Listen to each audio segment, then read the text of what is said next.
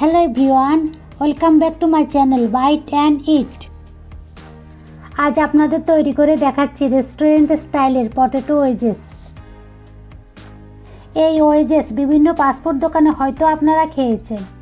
খেতে খুবই মজাদার আর তৈরি করতে খুবই সহজ। এটি ঝটপট তৈরি করে নেওয়া যায়। তো চলুন দেখিনি কীভাবে তৈরি করতে হয় এই পটেটো ওয়েজেস পটেটো ওয়েজেস তৈরি করতে আমি এখানে পাঁচটি আলু নিয়েছি। একটি পিলারের সাহায্যে সবগুলো আলুর খোসা ছাড়িয়ে নিচ্ছি। এবার আলুগুলোকে ওয়েজেস বানানোর জন্য কেটে নিব। প্রথমে একটা আলু নিয়ে মাছ বরাবর এভাবে দুটি ভাগ করে নিচ্ছি।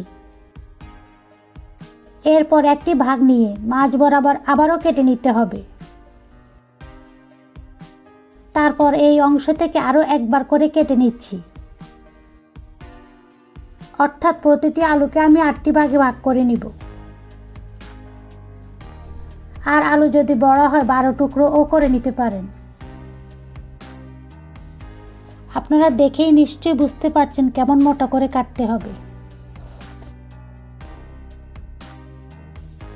আমার সবগুলো আলু কাটা হয়ে গিয়েছে। এখন আলুগুলোকে ভালোভাবে ধুয়ে নিব। আমি একটি হাঁড়িতে পানি ফুটতে দিয়েছি। পানি ফুটে উঠলে এখন দিয়ে দিব ধুয়ে রাখা আলুগুলো। এখানে পানি ফুটে উঠলে আলুগুলো দিতে হবে। এখন এর মধ্যে দিয়ে দিচ্ছি এক টেবিল চামচ লবণ। একটু নেড়ে দিয়ে অপেক্ষা করব। আলুগুলো ফিফটি পার্সেন্ট সেদ্ধ হওয়া পর্যন্ত। আলুগুলো ফিফটি পার্সেন্ট সেদ্ধ হওয়ার পর একটি প্লেটে তুলে নিচ্ছি।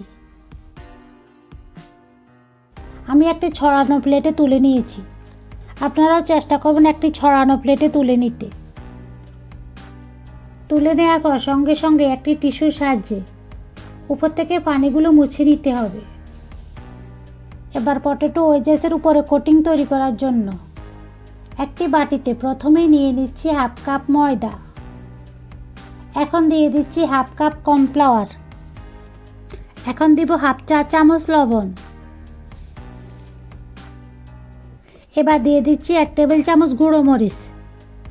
এখন দিয়ে দিচ্ছি এক চা চামচ হার্ব। দিচ্ছি এক টেবিল চামচ চিলি ফ্লেক্স। এখানে আমি শুকনো মরিচ তেলে গুঁড়ো করে নিয়েছি। এখন দিয়ে দিচ্ছি ধনে পাতা কুচি এক টেবিল চামচ। এবার এগুলোকে মিশিয়ে নিচ্ছি। এখন অল্প অল্প করে পানি দিয়ে ব্যাটার তৈরি করে নিচ্ছি। পানিটা একেবারে না দিয়ে অল্প অল্প করে দিতে চেষ্টা করবেন। এখন আমি ভালোভাবে ব্যাটারটা তৈরি করে নিব। ব্যাটারটা আমার তৈরি করে নেওয়া হয়ে গিয়েছে। আর ব্যাটারটা দেখতে এরকম হবে।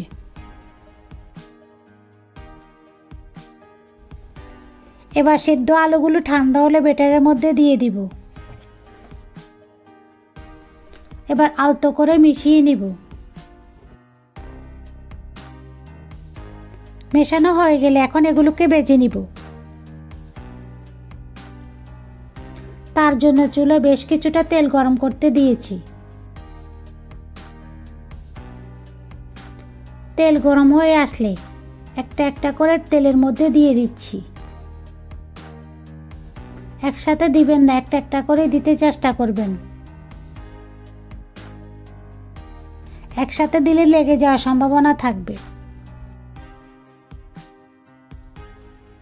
দেয়া হয়ে গেলে বেশ কয়েকবার এগুলোকে নেড়ে চেড়ে দিব। ছয় সাত মিনিট বাজার পর এগুলোকে তুলে নিচ্ছি।